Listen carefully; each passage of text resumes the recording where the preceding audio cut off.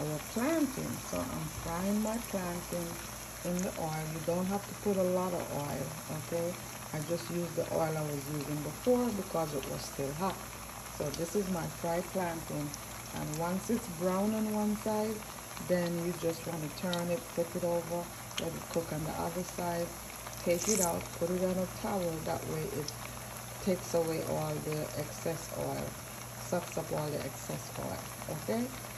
So this is your fried plantain for those of you who love plantain. Oh my goodness, this is sweet and it's sweet guys, it's sweet plantain. And this is what we eat okay?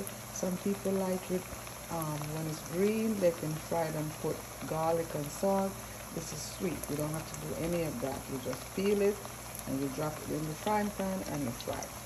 Once again make sure you follow me on youtube. Hit like share and subscribe to cooking with Nena. Be blessed